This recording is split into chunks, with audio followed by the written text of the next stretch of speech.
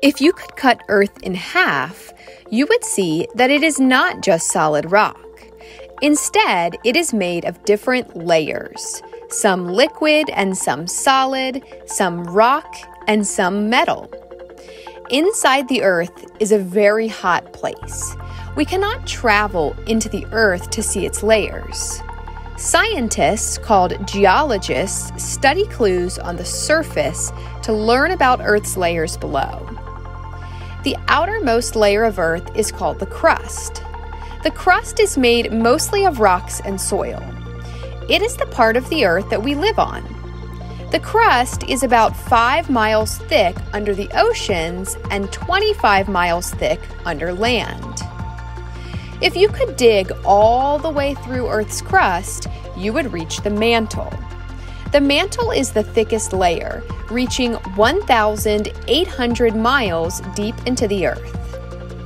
The mantle makes up about 85% of Earth's weight.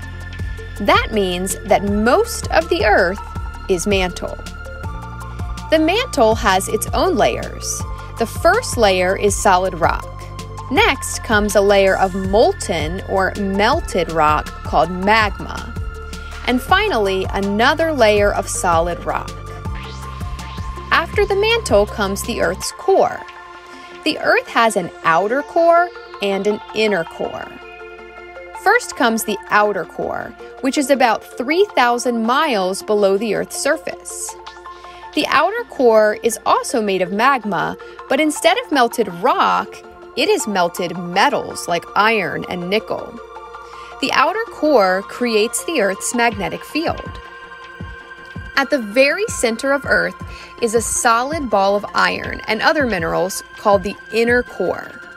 The center of the Earth is extremely hot, with temperatures reaching 9,000 to 13,000 degrees Fahrenheit. The extreme pressure at the center of Earth keeps the inner core from melting. Know so much about the inside of Earth?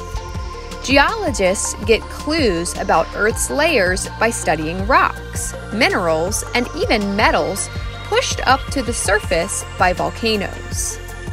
Even though we cannot see the layers with our own eyes, these clues show us what's down there. This video was created by LaFountaine of Knowledge.